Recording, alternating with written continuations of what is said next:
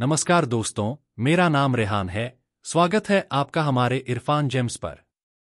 आज हम बात करेंगे फिरोजा के दो मुख्य प्रकारों के बारे में, ईरानी फिरोजा और निशापुरी फिरोजा। यह दोनों बहुत प्रसिद्ध हैं, खासकर उनके स्वास्थ्य लाभ, धार्मिक महत्व और ऐतिहासिक दृष्टि से। तो आइए जानते हैं, इनके बीच का अंतर और इनका उपयोग कैसे किया जाता है।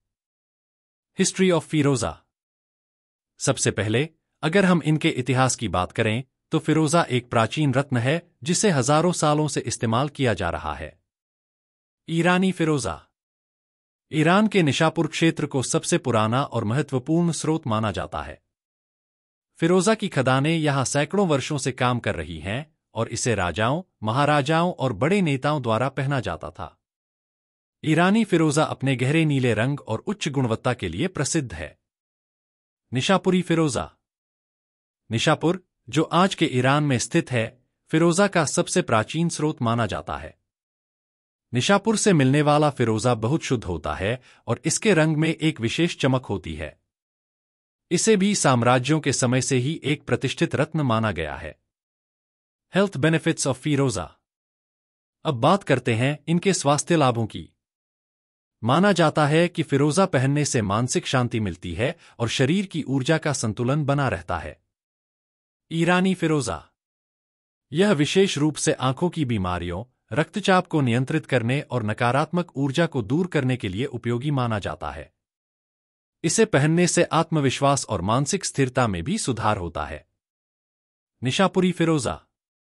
इसे पहनने से दिल की सेहत में सुधार होता है और इसे एक शक्तिशाली हीलिंग पत्थर माना जाता है। यह शारीरिक और मानसिक तनाव को कम करता है और सकारात्मकता लाता है। रिलीजियस सिग्निफिकेंस धार्मिक दृष्टिकोण से भी फिरोजा का विशेष महत्व है। ईरानी फिरोजा। इस पत्थर को इस्लामिक और पारसी धार्मिक परंपराओं में भाग्य और सुरक्षा के लिए पहना जाता है। माना जाता है कि यह बुरी नज़र से बचाता है और दिव्य सुरक्षा प्रदान करता है।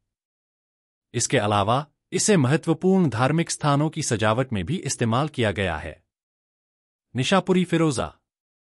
निशापुर के फिरोजा को भी इस्लामिक इतिहास में काफ़ी सम्मानित माना गया है।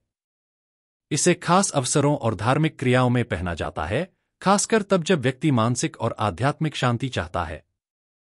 कंक्लूजन तो दोस्तों, यह था ईरानी फिरोजा और निशापुरी फिरोजा के बीच का अंतर। दोनों ही रत्न अपने अपने तरीके से अद्वितीय हैं और उनका उपयोग इतिहास, स्वास्थ्य और धार्मिक महत्व के अनुसार किया जाता है। ईरानी फिरोजा अपने गहरे नीले रंग और उच्च गुणवत्ता के लिए प्रसिद्ध है, जबकि निशापुरी फिरोजा अपनी शुद्धता और चमक के लिए जाना जाता है। स्वास्थ्य और धार्मिक दृष्टिकोण से दोनों का अपना अपना महत्व है। अगर आप फिरोजा पहनने की सोच रहे हैं तो अपनी ज़रूरत और प्राथमिकताओं के अनुसार सही पत्थर चुनें। अगर आपको यह जानकारी पसंद आई हो तो लाइक करें। चैनल को सब्सक्राइब करें और हमें बताएँ कि आप कौन सा पत्थर पहनना चाहेंगे, जीरानी या निशापुरी फिरोजा। धन्यवाद।